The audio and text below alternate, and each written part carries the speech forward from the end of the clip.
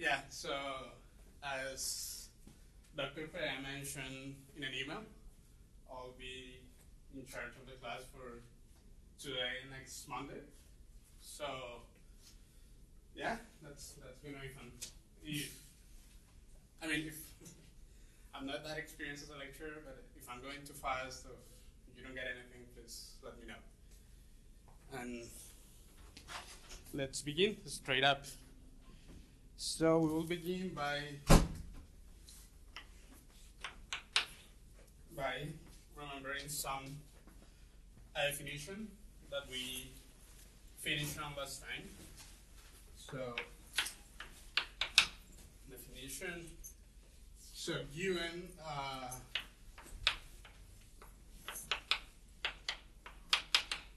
a simplicial complex K. And again, we mean abstract simplicial complexes when it is not specified. Um, for a natural number greater than zero, we define C and K C as just the collection of functions phi from n dimensional simplices of K to C. And just as a notation otherwise, and I don't think uh, Dr. Perea mentioned this last time, uh, for any simplicial complex K, we are going to denote by K sub n, the collection of all simplices whose dimension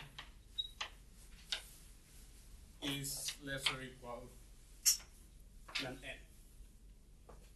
Yeah, so for example, K0 is going to be a collection of all zero-dimensional simplices, which is vertices of the of the simplicial complex. K1 is going to be all the simplices of dimension up to 1, which means all the 0 and 1 dimensional, so all the edges and, and vertices on the complex, so on and so forth. And using this notation, using this, keeping this notation in mind, we can think of phi of every function phi in here as a function from kn minus kn minus 1 to c. Does that make sense? What's that one? It's she or what's that kind of notation? This Yeah. c is the integers. Oh, e, oh, the d, the integer. Yeah. Okay. Is it my notation here? Um, just making, just clarifying. So Okay. when you have K zero, that's only the zero dimensional simplices, and K Up to is- dimension zero. So it's up to dimension zero. So even one includes K Yeah. zero.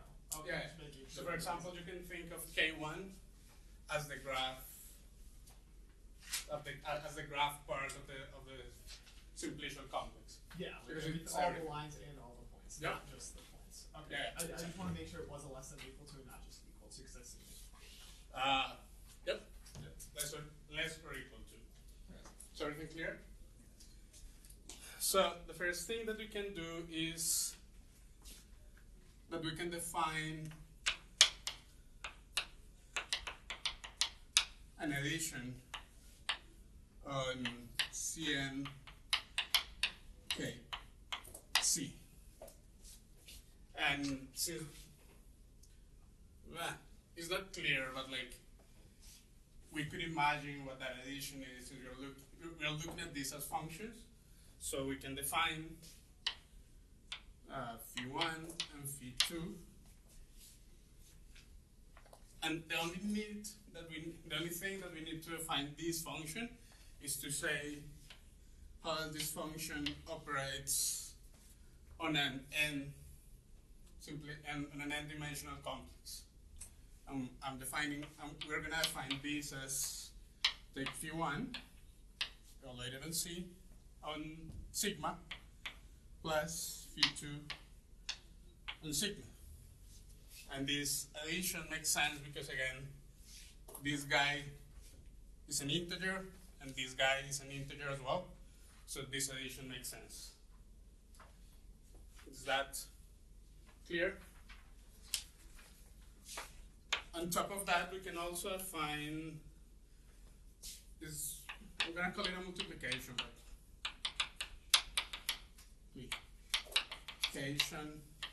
actually by elements in C. So basically what I'm saying is that I'm gonna define the function like for a given m in the integers and a given phi in Cn k c. I'm gonna find the function m. I'm gonna use the dot phi. So I'm defining this function.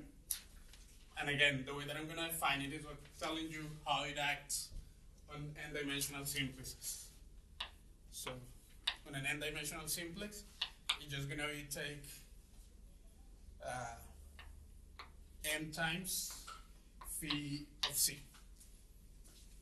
Which again, this is just an integer, an integer, so this multiplication makes sense. Are those things more or less reasonable? So, with these two definitions or kind of facts in mind, we can basically say the following, and, and let's let's try not to make it too confusing. okay, let's say So let's take this set and simply says the oh okay I should mention this uh, B subject Kn. This is called uh, the n skeleton of K. I'm just mentioning it because that's the usual name that it receives in in text. So if I take the n skeleton of k and I subtract the n minus 1 skeleton, I can take all the elements in here. Uh, sigma. Hmm. I shouldn't call it n. Yes, I should not. It's going to be confusing. So I'm going to just list all the elements in here. And I'm going to find the number one just to be one of my functions evaluated in sigma 1. I'm going to find m2 to be sigma phi and sigma 2, so on and so forth until I get m sub d. And this is going to be phi and sigma sub d. And what this allows me to do is to say that for this phi, this function phi. I'm going to write it as the number m1 times the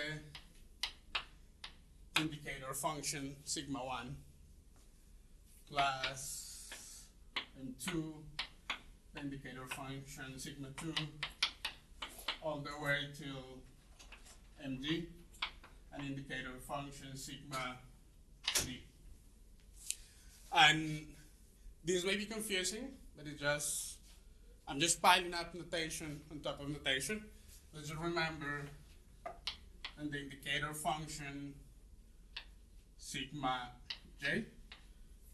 It's basically if I evaluate any simplex sigma, any one of the simplexes in this list, this is just going to be 1 if sigma i is sigma j. Okay. and it's zero as well, elsewhere. So it is just a little function that takes value one for the simplex that appears here. And since this notation is kind of redundant, the way that I that we're gonna actually write this down is one sigma one and two sigma two, so on and so forth, and the sigma d. But what I mean by this is M1 is the value that phi takes on that simplex, and I'm just using the sigma 1 to indicate that that's the value that corresponds. And what I'm thinking is about this function.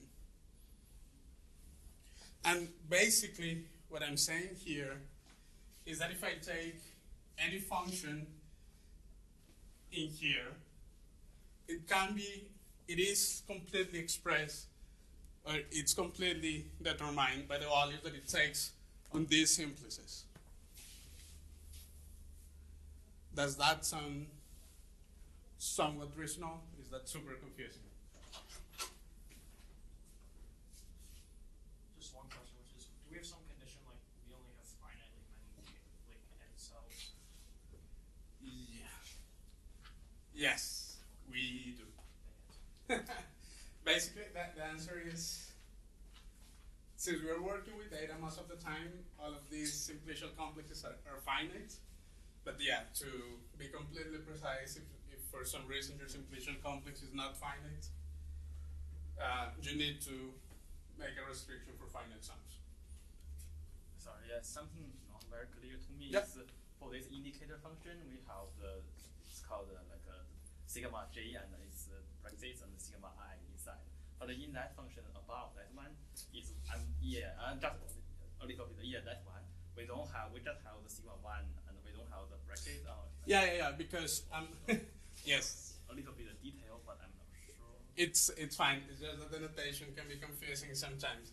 So what I'm saying is that this is a function, Mm-hmm. it looks like this. Yes. And if I want to evaluate the function, so let's write it here.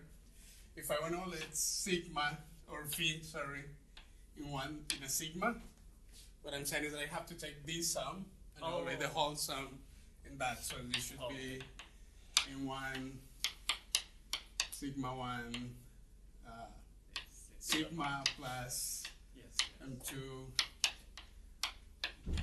sigma Yes.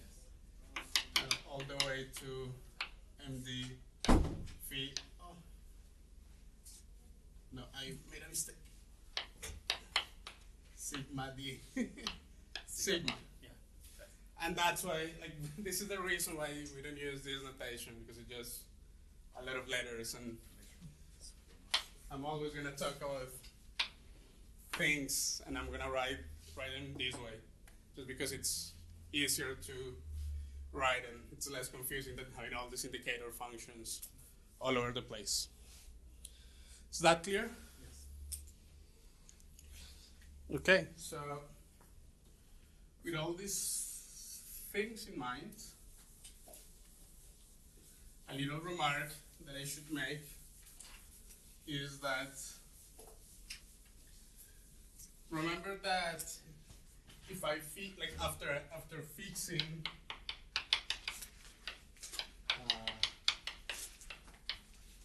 basically an order on the vertices. So I basically just enumerate my vertices on K0 just to use the notation. That just means that I'm giving them numbers. I'm saying I have vertices B1, B2, Bn. This fixes an orientation for any n-dimensional simplex. And the orientation that it fixes is the one that given by expressing the simplex in the order given by the vertices. Does that make sense? So, just, just as a reminder. So, for example, if I have this, and when I'm giving, when I'm giving them these names, I'm fixing these orientations. So what I'm saying is that the standard orientation for this edge is going to be B0, oh, B1. And I'm going to note by the inverse orientation minus B1, B0. Just that the notation in the first line is like uh, after fixing what, what's that one? No, above that one. After fixing an order on the edges. That means order. Yeah, Okay. just because I should write that down. You're completely right. That's confusing. Seems. An order on page zero. And like I, I call it like minus just because the way that I fix it or the way that we usually fix it, fix orders and sites is by just giving them like little indices. Like once I select the collection of indices, I fix an order. So we want with the in order of the indices and with the minus sign? Uh, no, I want to say this is minus this guy.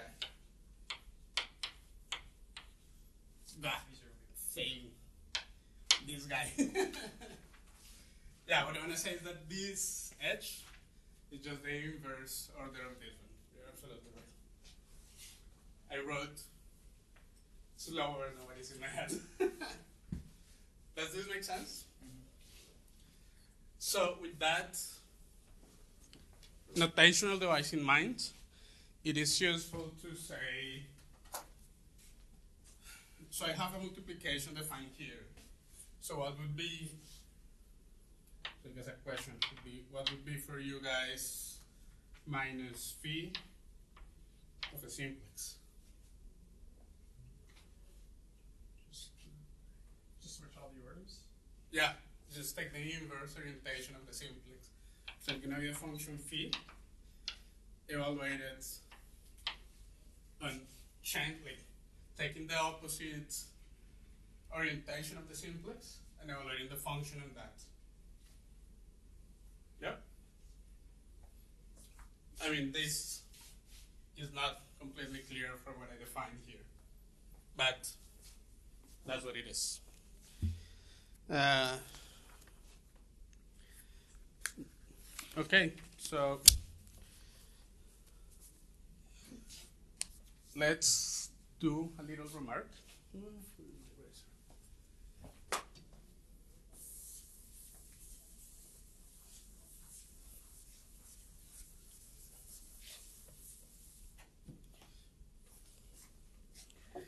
So if I give you if I take two functions, phi1, phi2, in C and K, C,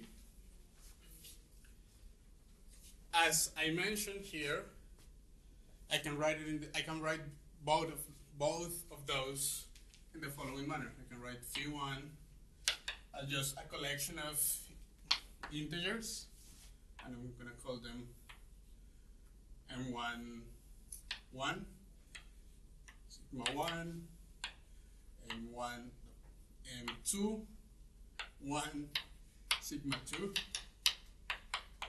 md1, sigma d, and I can do a similar thing for phi 2, phi 2, 1, sigma 1, m2, 2, d, yep, Alright, thank you. one, two D, one, one, one. Maybe my ones are confusing.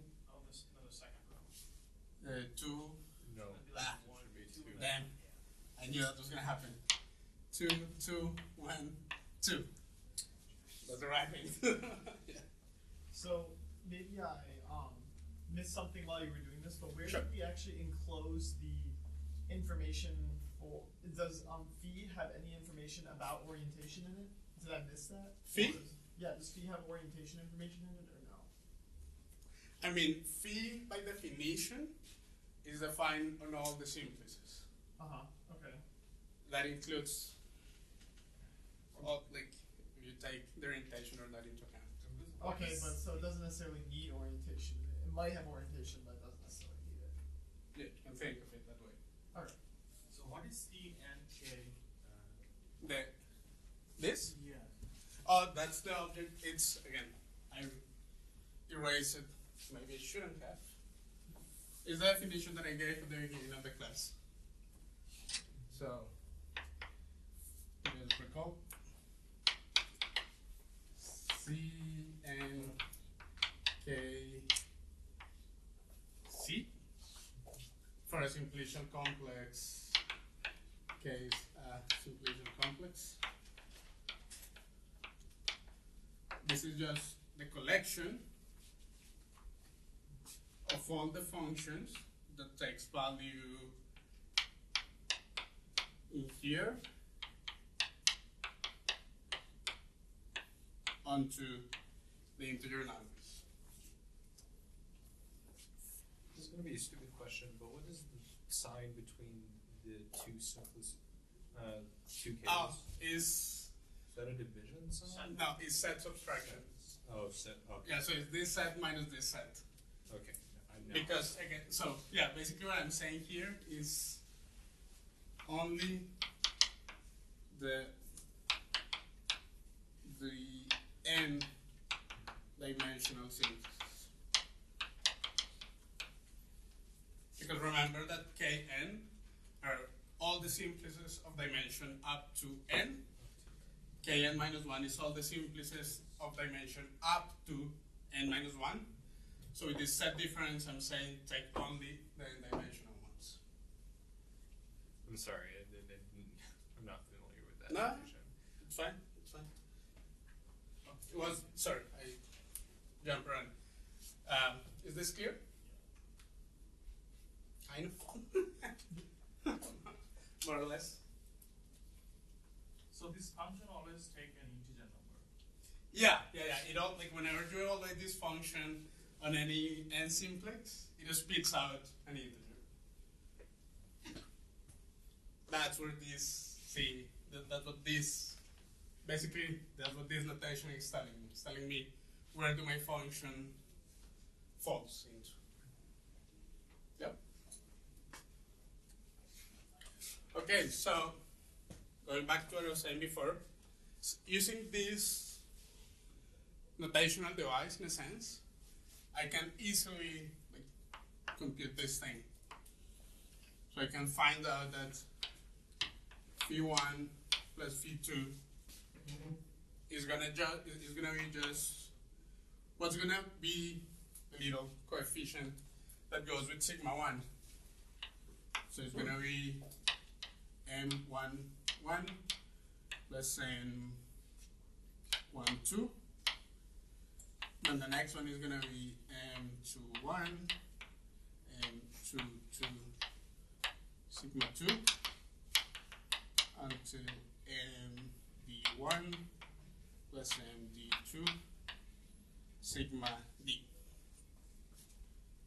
And basically, what this is telling me is that any of the operations that I defined at the beginning in here the only thing, the only information that I actually need to add up or multiply these functions are these little m's.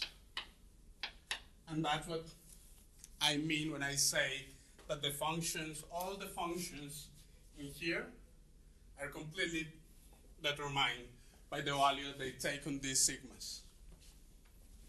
So if you see at this, what I'm saying is, if I want to add those, those of any of those two functions, I just need to look at these values.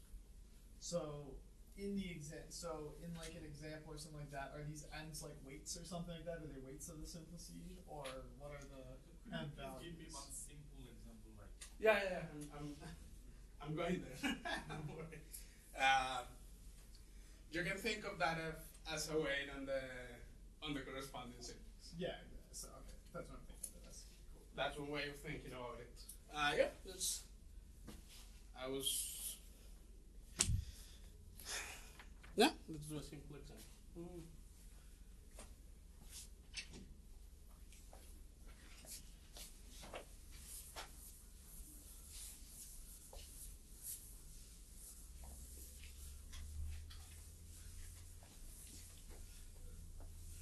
So let's say, for example, that I give you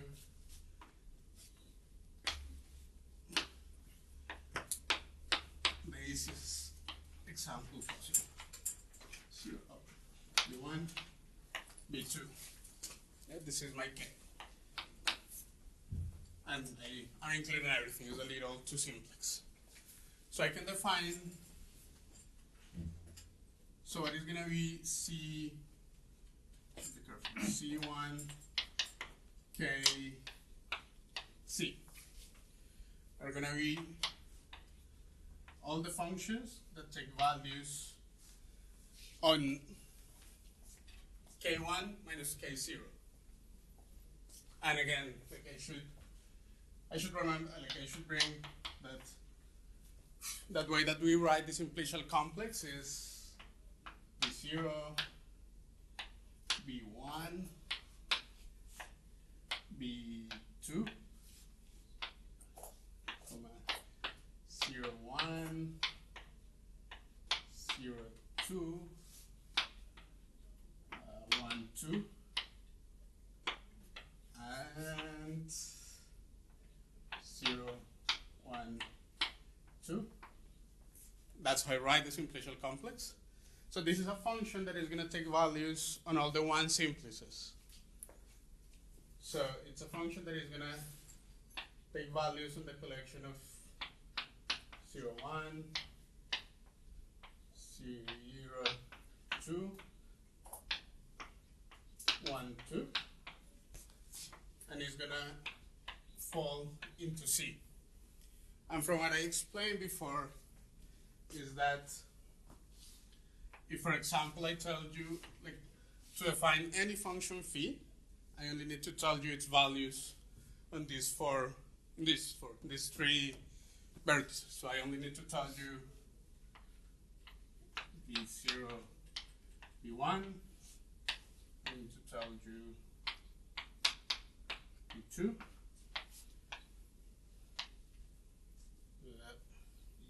Zero one and two, zero two, and I can just give you values. I don't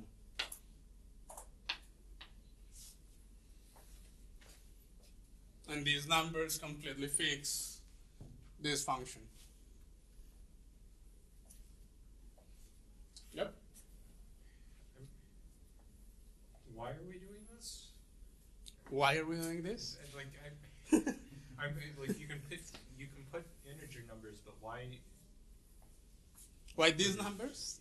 Well, well, I mean, I don't think it matters which particular number is specific. Oh, no, no. but it's I'm asking It does not. what. Why are we fixing numbers on them? No, we are not fixing. Like after I fix these numbers, mm-hmm. I fix phi.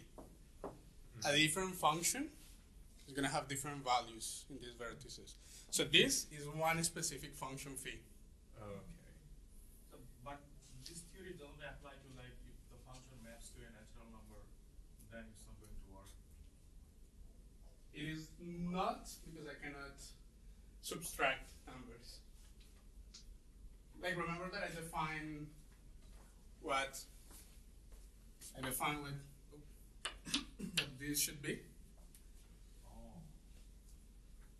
So if, you- if you think of what I was doing, I define a way to add functions. I define a way to like multiply functions by integers. But when I'm talking about addition, when I do this, I also include subtraction. And if I map into ends, like then some of the of the subtractions are not gonna fall in the natural numbers. Does that make sense? So for example, if I were to change this C by the natural numbers. Yeah? We say, okay, this is three. Then I would like to know what is phi in uh, B0 or for example B2, B1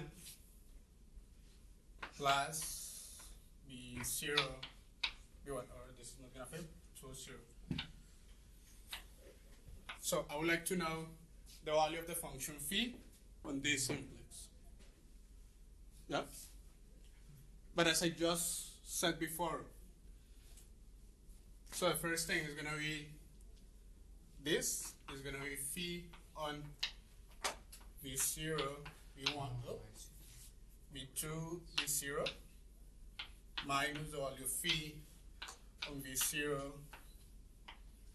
v1. Yeah. So is it wrong to think that this is the order we're putting on the we're putting putting the orientation on the simplex with this mapping function? No, I fix the order first, Uh, and then I do everything. so this is after the uh, Yes. fixing the order. Yeah, fixing the order is the first thing that comes. Okay. And even if you were to change the order of these two, I can find another combination that is gonna fail. Let me finish this to show you that it fails. So what would be phi on this edge? oh. Minus three, Sorry? minus three. Yeah. So it will be uh, this is plus. Minus three, and what is the value on this fun- on this edge? Plus one. So this is minus two. But this doesn't make sense because my function phi is supposed to take values only on the natural numbers. So I cannot do only the naturals. I need more for all these little like to be able to have a function phi well defined in all the simplices that I can think of. Yeah, so the answer is I cannot do the natural numbers. The integers are not the only thing that I can put, but are kind of the easiest, nicest thing that I can use. Yeah, so when you say integer, so you have multiply, uh, addition and subtraction. Do you have division? Like No, so far I haven't thought about that, and I don't. Integer number, uh, like, uh, all, uh, it's not, it cannot be negative. Integers, yes, they can be. They can negative. be. Yeah, natural numbers cannot be negative. Just any any group that has just basically any group that's the multiplication and addition is close. Uh, Any group can be realized as the same object. Yeah, exactly. So Not really. Like for, for the people for who this means anything, and it's not most of you, you can put any group here. and But- yeah, and it's just like a weight. It's just like a weight of what this You is. can think of that just as weights. It's like making something. So then you can do for real numbers also. I could potentially do real numbers for sure. Yep. It's just that for our purposes, we're only you know we only we're only gonna use integers. Yep. That's that kind of No, It makes doesn't? Sense. Well, it makes sense. I'm still just confused as to why we're doing it, but I feel like as you explain it, it will become clear. I feel like this is just relating back to homology, to identifying homologies, right? Yeah, yeah. The, the end goal is to find homology, and this is all machinery that is are just the tracks to get there. That's all it is. Um, so, any more questions about any of this so far? Because it's gonna get a little bit confusing from this point. on. And this is just one option for B. You could do infinitely many different options, correct? Infinitely many. Yeah. You Yeah. any, Yeah. any number. Okay. Yeah, yeah. Like once I fix the numbers, I'm fixing the function. So, questions again. Okay, let's move on to something that is going to be, in my opinion, easier and more confusing. It's easy, but it's more confusing than what it really is. So now I'm going to define. Next big definition is the. Oh, I cannot spell that. Boundary operator boundary operator. And this is the defined for any n bigger than 1. I'm going to find a function uh, called partial n that takes value on c and k c and it gives me a something out in here.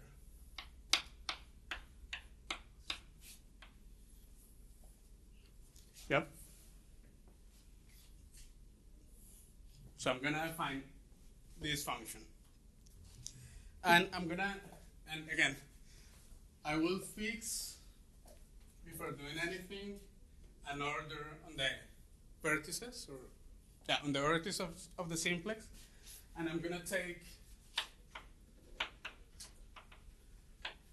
an n simplicial complex. And I'm gonna express, like after fixing the order, remember, remember that, can, that I can express any n simplicial complex. Um, an n simplex by just the vertices that appear in there. Yep. And I'm gonna find basically all this story should should be hinting at the fact that I can define this function just on the n simplices. so I'm gonna define it on here. And it's gonna be big square definition. Is the sum or j from zero to n minus one to the j. And this is gonna be take sigma and take away vj. Minus one. Minus one Okay. to the power of j. And then take the sigma uh, simplex and, and take away the j vertex. So this object here is an n minus one simplex.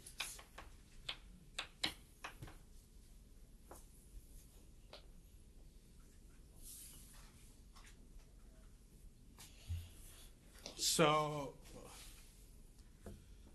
but I'm gonna move here.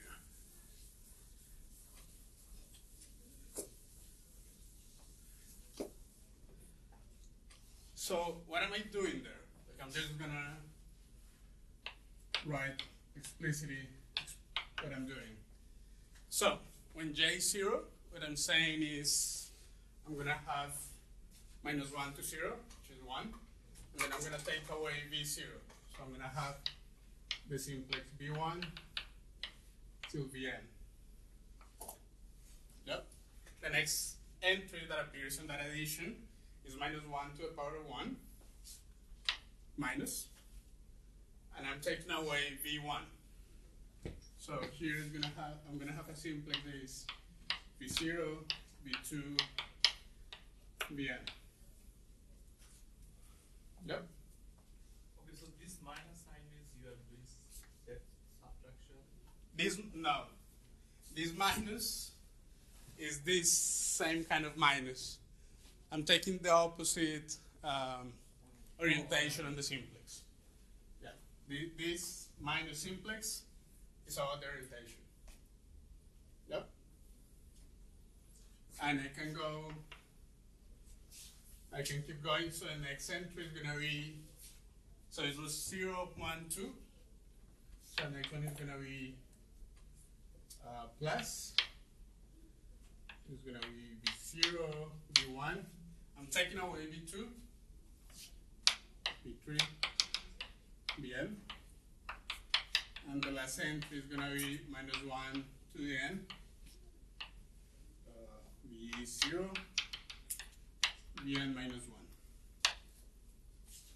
Yep. I'm just, I'm, I'm gonna write something down.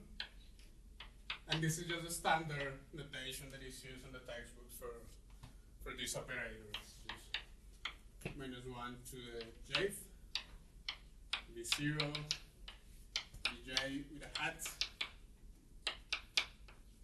vn. What this notation means is eliminate the j vertex in the collection. And this is the notation that you're actually going to find out in the text. So, okay, so this doesn't mean anything, honestly. so let's do an example of what this actually looks like. Because this is a really like geometric op- like operator, really, if we think a little bit of, about it. So let's do that same example. Let's do V0, V1, V2. I have the little triangle. And this is K. So I want to compute uh, delta 2 of the following simplex. V0, V1, V2. Yep. So I will follow the definition. So I'll be the first set. It's gonna be take out the zero vertex. So it's gonna be V1, V2. Then the the one vertex is gonna come with a minus. V0, V1, no, V2. And then take the last one, V1, V0, V1. Is this clear? Like I just follow this definition. But now let's look at what this simplex actually is. So what I'm saying here is the following. The, so I'm taking V1, V2, which is taking, oh, I should write little arrows indicating the orientation fixed by my ordering. So what I'm, what I'm saying here is what? Take the edge V1, V2. So let's take this edge. Then take the edge 0, 2 with opposite orientation. So the orientation of 0, 2 goes from here to here. I'm gonna take the opposite orientation. And then take 0, 1 in its given orientation. 0, 1. So what I'm describing is the little border of the triangle. And that's what, that's the motivation what it is called boundary operator, because it's taking an object, and this is an abstraction of computing the edge, or computing the boundary, as it is called. So, the definition may look artificial, but it's made to actually uh, make a concrete definition of how to compute boundaries. So let's say we have a four-dimensional simplex, and if we do this, then the boundary are all three-dimensional simplices. All three-dimensional simplices? Yes. For the for for for this one, for, let's let let's do a, a, a different example to see what happens. Let's is this.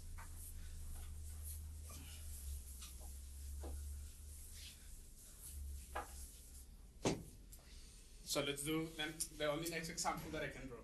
Like the, the next dimension that I can draw. Which is gonna be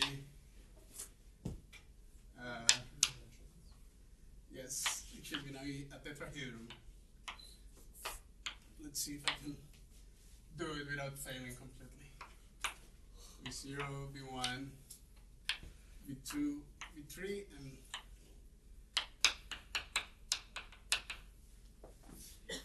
Is clear what that is?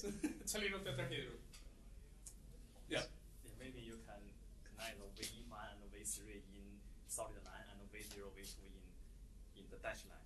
I mean, I, I mean, I don't know what I, it's more common. What what is more, more common? like uh, you connect V1 and V3 in solid line. V1 V3. Oh, you You want me to? normally- Okay. Where do you want me to put the names?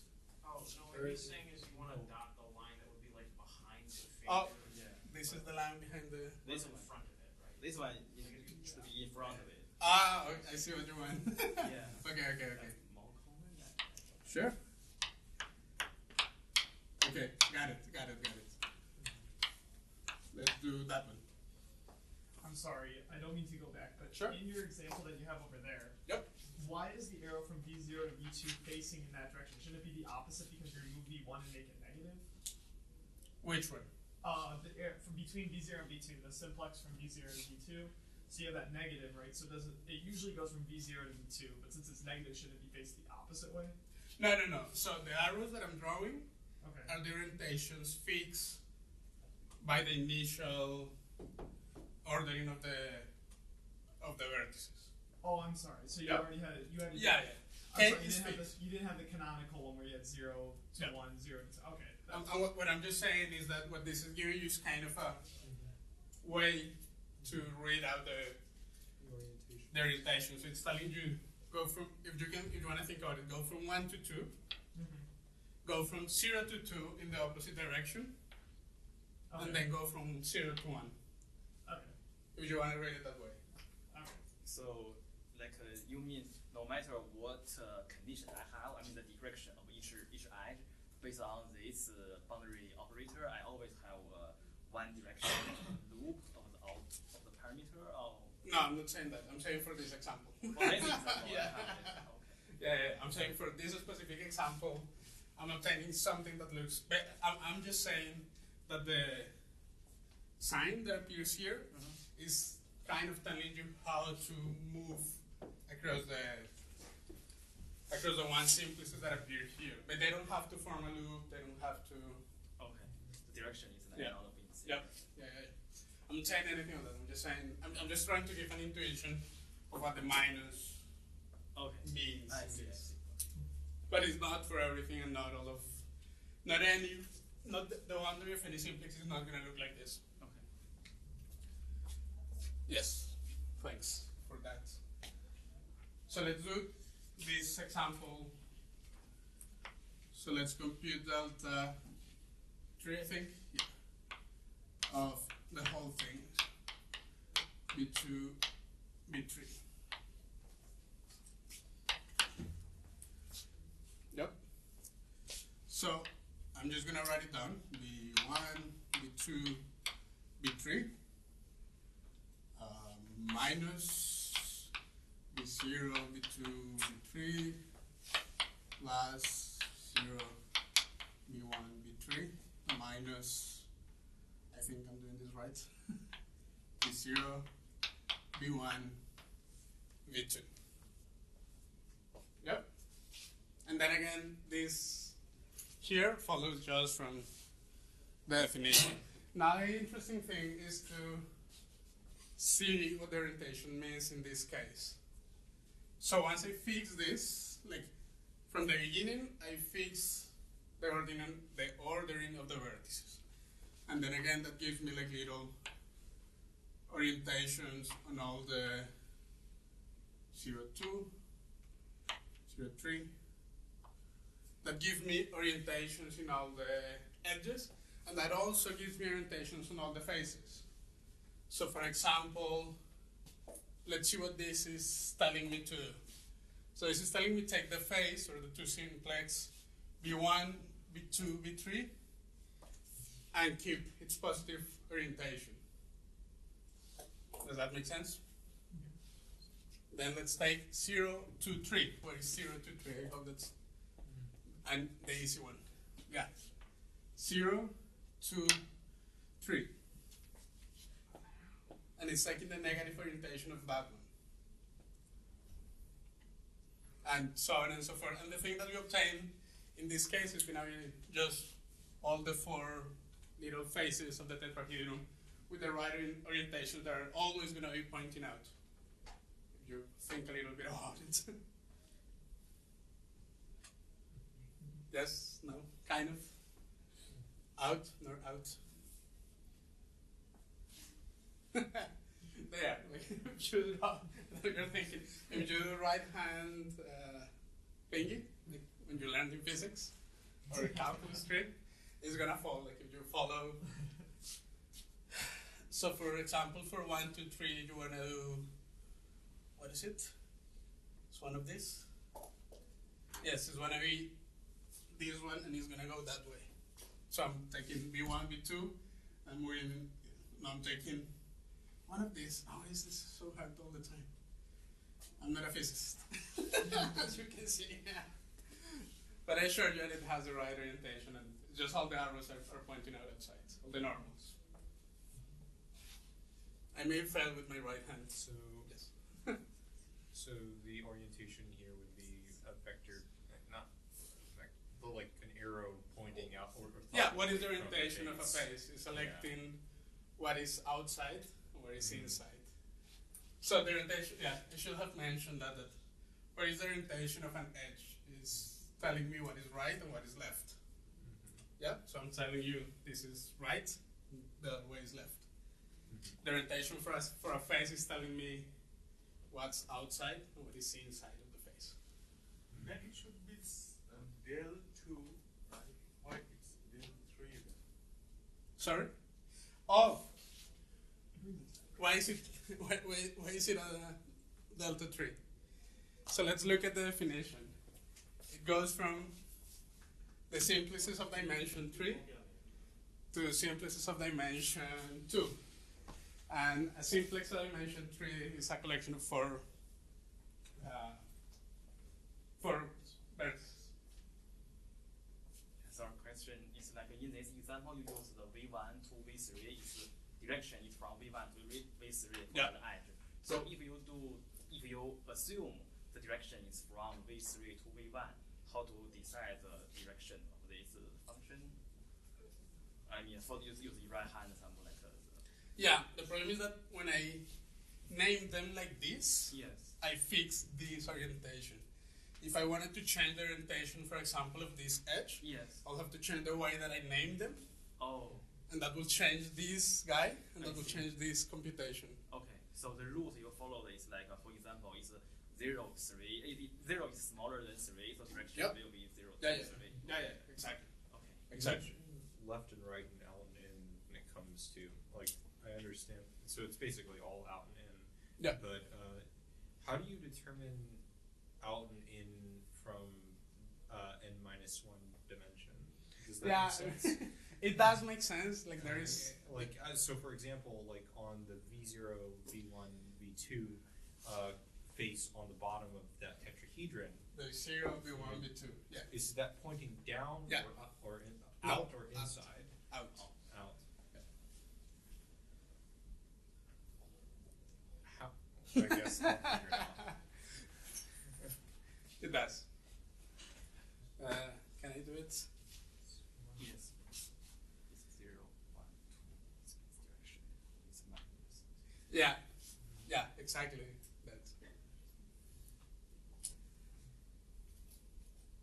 It's. I'm doing my right hand I, I always do it wrong, so. So.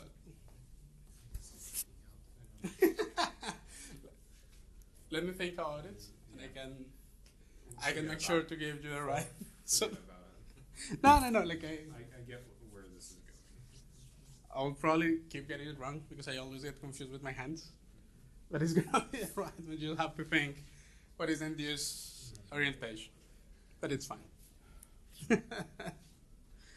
um, okay, let's do more examples of this little guy.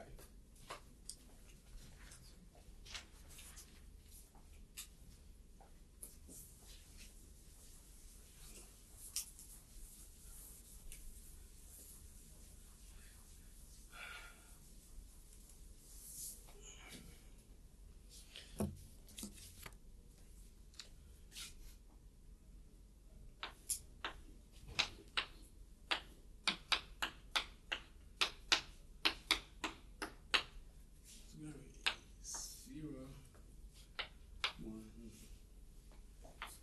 two, three.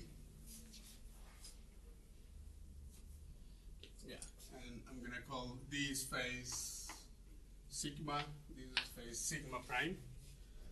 And I wanna compute delta two of sigma minus two times sigma prime. Yep. So, as I mentioned, this operator is defined in the basic ex- and simplices, and the way to extend it to like combinations of those is just by computing each little part.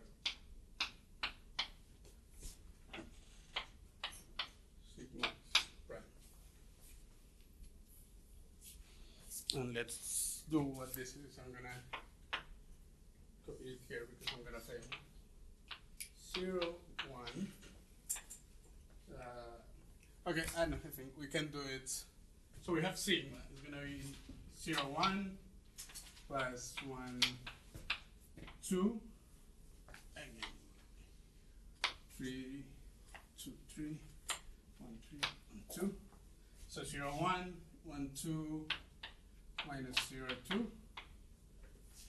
Minus two 0, 2, minus 2 times this guy v one v three. One three minus two three plus no, minus v one v two. Yes. No. Yes.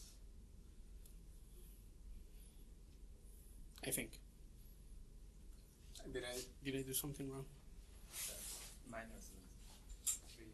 One three, two three, one two.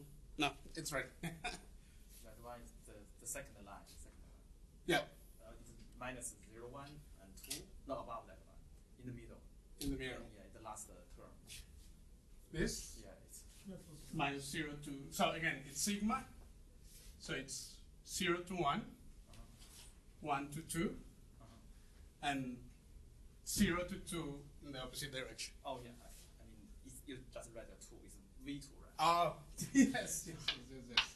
V2. yeah, absolutely right.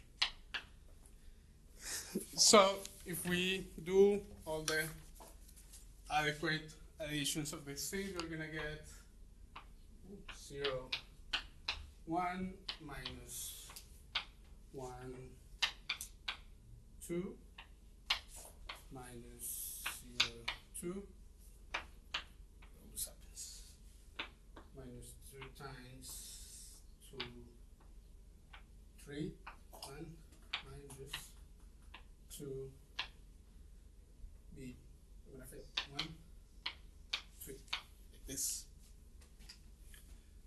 Let's think what this is. So what I'm saying that this is, and this uh, simplex is, let's, we have zero, one, in the right direction. We have one, two in the opposite direction.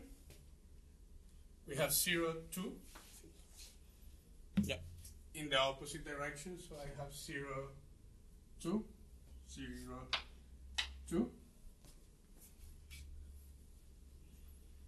Yes. Then I have two, three. I have one of these and it's like I have it two times, and both of them are going in the wrong direction, or the opposite, in the wrong direction. And then I have one three, and I have two copies of this guy, and they are going again in the wrong direction. So this is also an answer to your question that do they always look nice like this? They do not depending on the thing that you start with, they're gonna look kind of messy and complicated. They're not gonna be that easy to to see like on your face. Mm. Have the definition there, so.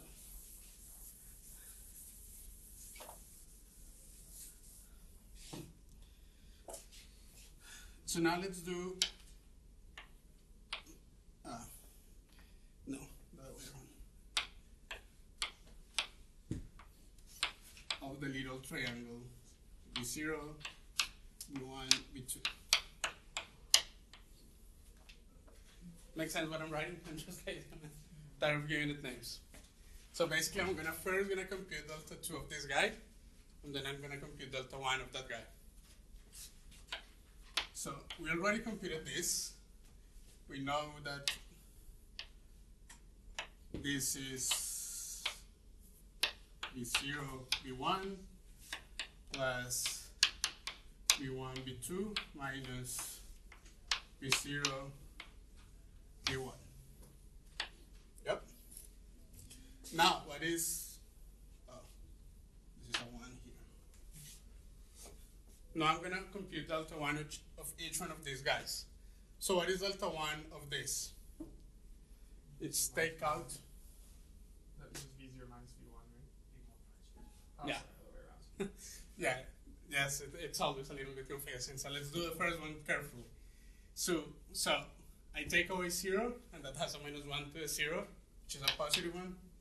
So I get v1 minus v0. Which again, if you if we think what this is doing is we have this edge on with this orientation, and I'm saying the end minus the beginning. That's always what it's doing. So keep that in mind. The next one should be v2 minus v1, and this one should be minus v1 plus v0. Yep. And this adds up to zero. I think. I made a mistake somewhere. Oh, we have two V zero V ones. One of them should be V zero V two. Ah, this is the one that I always do wrong. Like this. That seems better. Yeah, so I have one, one, I have two and two, and I have zero and zero. And they do eliminate. Let's do a final example, and I'm gonna recycle one of my drawings.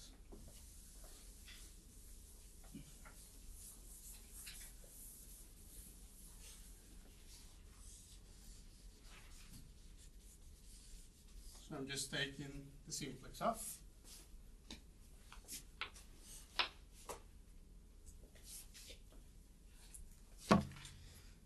And sorry?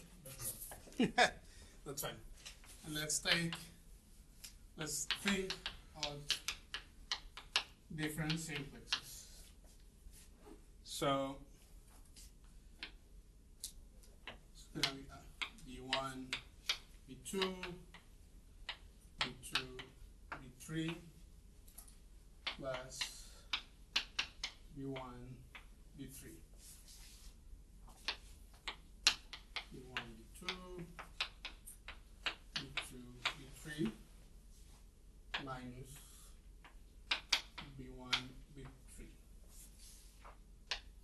V0, V1, V1, V2 minus 0, V2 and 0, 1 and 2, 3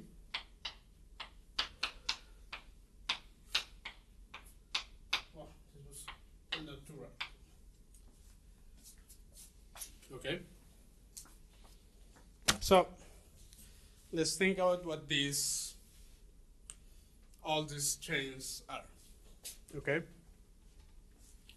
So what can we say about this first chain? So let's look at it. It is given by uh, one, two, two, three. Okay, it's going to yes. So it is one, two, two, three in the right direction, and one, three. Yep. Oh, I guess I should have. Ah. It was confusing before. It's gonna be confusing now.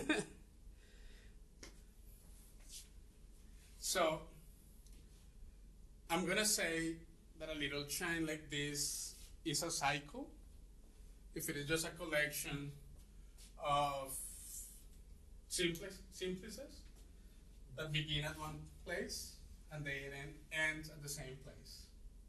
So for example, this chain here, as I did before, it it goes from V1 to V2, from V0, so from V2 to V0, and from V0 to V1. So if you look at it, it's like doing a little cycle loopy thing. And whenever a collection of simplices do that, I'm gonna call them a cycle. So let's see, is this a cycle? Why not? It's not going back to V one. It's not going. So what's failing? What's failing? Minus V one, V three. Yeah, Yeah. exactly. So so this little piece makes this not a cycle.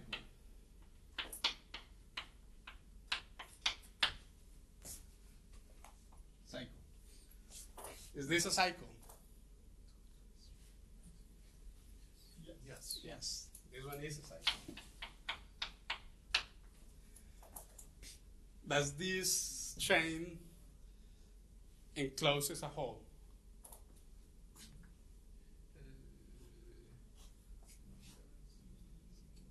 Yes. Yes. It's a Yeah. yes. So this is not only a cycle, but it has a hole in the middle. Yes, that's good. What about this one? Is this a cycle? yes. Is, does it enclose a hole? Yes. Oh wait, no, just No, kidding. You took that's off it? one of the faces. you took off one of the faces. So no, Yeah. it doesn't. It doesn't enclose a little hole because I have the face in here. Yeah. So this is a cycle, but it's not a hole. What about this one? Is it a cycle? Is that V zero to V zero? Which one? No.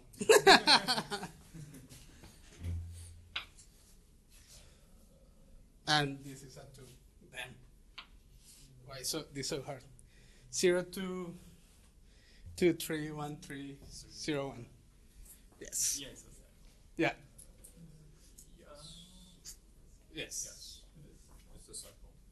Yes? No? I say it's yes. Yeah. it's the outermost It's, It's square. square. So it is a cycle. Is it a hole? Yes. There's a hole, the sub part of it's a hole. Yeah, it has like it has a hole in the middle. Mm-hmm. So it does.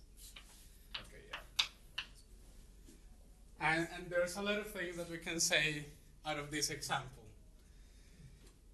Notice that we can have cycles, so things can be cycles, but not all cycles are holes, have holes in them. So we, ha- we can have cycles with holes, or cycles that fill in, this example by this phase. And if we pay attention to what these two chains are doing, so both of them are enclosing essentially the same hole in the complex, even though they look different. No, because one of them is this, and the other one is this. But the cycle that they contain is essentially the same cycle, the same hole. Sorry. So I have a question. So for example, this one have V zero to V one, V one to V two, and V two back to V zero is a is a cycle.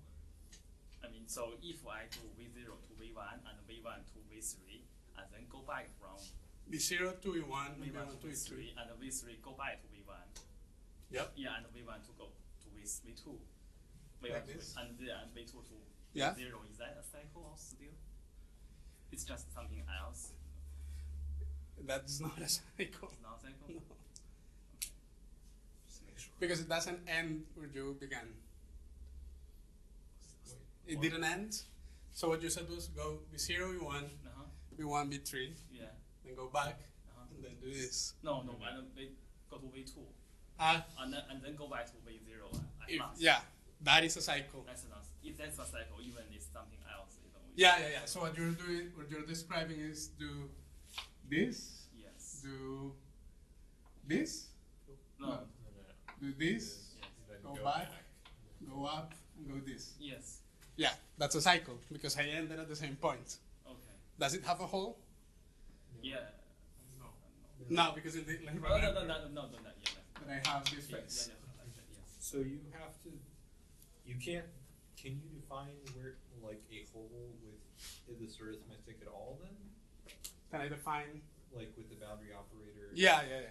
Yes, of course. That's that's where we are going with this. uh, that is it. yes, that's exactly what we are going with this. that is right on point. So, where I'm going with all of this is to us following definitions.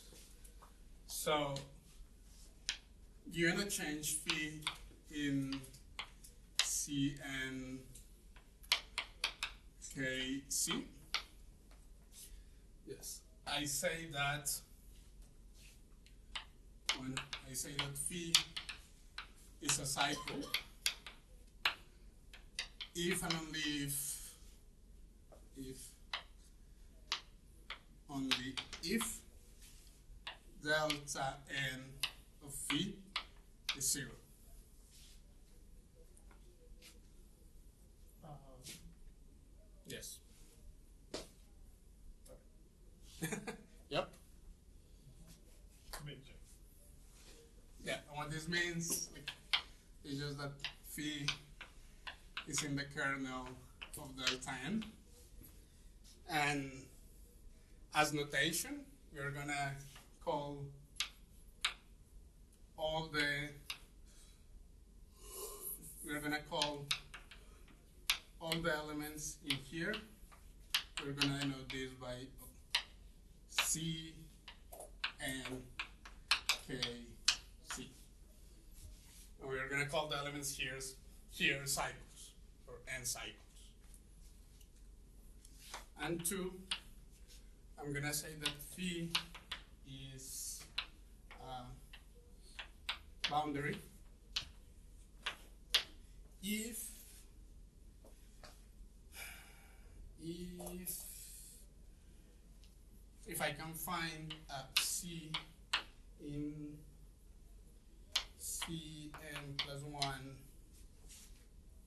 K C such that delta m plus one of phi nope of C is phi.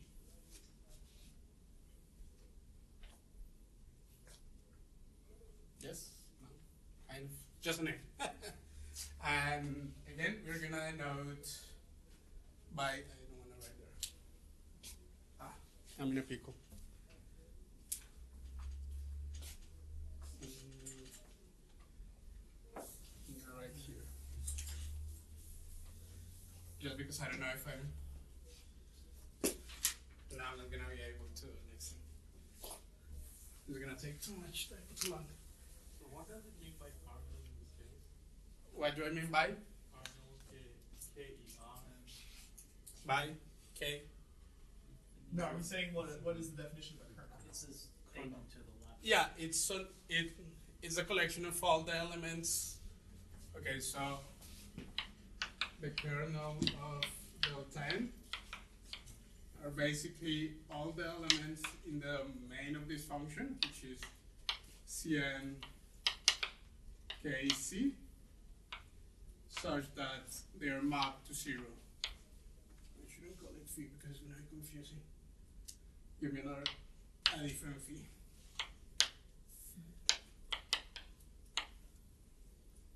Yep.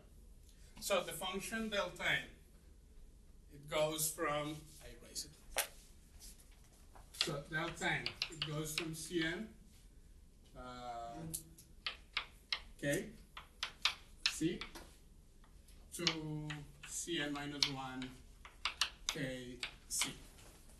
So the kernel of this are all the elements here that are mapped to zero.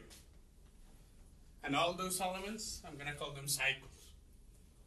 And just for the sake of notation, because it is standard in, in books, they are denoted as this. And what I'm saying here, sorry, what I'm saying here is that phi is contained basically in the image of delta n plus one.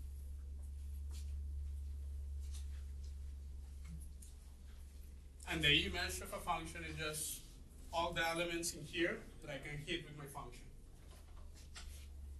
And I'm gonna call this B n K C. Yes, Bn. Um, why the B? Because boundary. And why the C? Because I think cycle in German or something like that is the reasoning. Again, cycles, boundaries.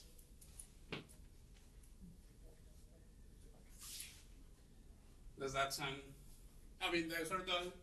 These are those like definitions, but again, what you should think when you're thinking of cycles is what I described before, which is just like these little collections of n simplices that like start at some point and they end up closing eventually after doing all the path that is being described. What is C in part two? Psi. What is the side? Psi, yeah, what is? Yeah, so Is that just phi only? is the element side is the element that is mapped Mhm. into oh, into the field that I begin with. But does phi, in this case, are you keeping phi as a notation of a cycle? Or does that not? No, no, no. Phi is just an element here. Thank you. Just- okay, but it's, and then, okay, so that's just a cycle and then. Yeah, yeah. I begin with a general element here. I call it a cycle if it is in this kernel, Yes. and I call it a boundary if it is in this image. in the image of it. Alright. Is that clear? Kind of, somewhat, somehow. Okay, yeah, I cannot. I, I cannot do it like in four minutes. Next thing. Uh, next Monday I will be in charge of class again, but we'll have a computational kind of exercise. So I will, we will ask you guys to install Python and to bring your laptops. And please tell the people that left, if you know them, to please bring their laptops with Python installed. And we'll make a all like a little guide to, if you're not familiar to Python, at least to how to install it and how to make it work. Are we gonna be using a Jupyter notebook? We're gonna be using Jupyter notebooks. So if you're not familiar with that, I already wrote a little guide. So like just a small walkthrough on how to install it and how to make it work. If you have problems with that, you can always mail me and I can help you figure it out if you're not experienced with that kind of stuff. So please bring your laptop. Next one. Thanks,